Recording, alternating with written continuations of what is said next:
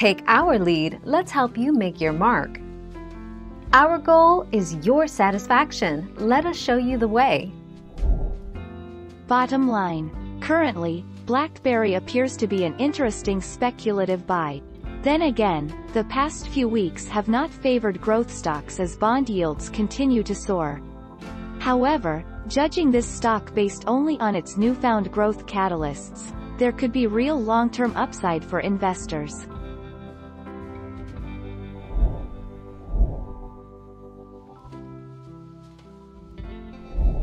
Let's help you make your mark.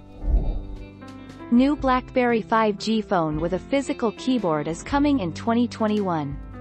A new challenger has resurrected the BlackBerry brand.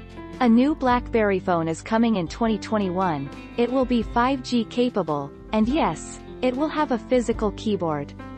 A new company has licensed the BlackBerry name after TCL dropped it in early 2020.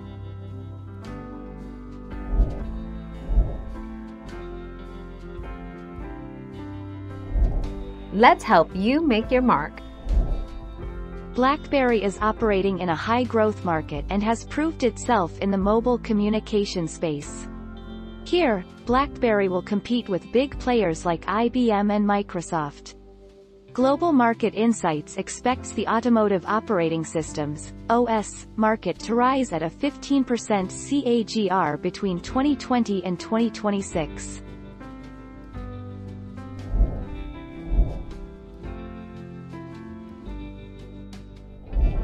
Let's help you make your mark. And they aren't worth using because lack of support.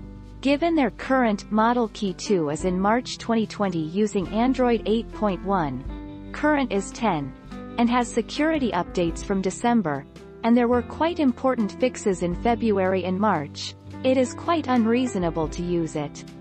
Replace the handset if possible.